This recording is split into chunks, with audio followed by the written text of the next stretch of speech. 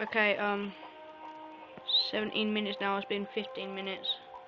So I'm writing. He's gonna be a black up, so he, he won't even be there on time. So that should be my win.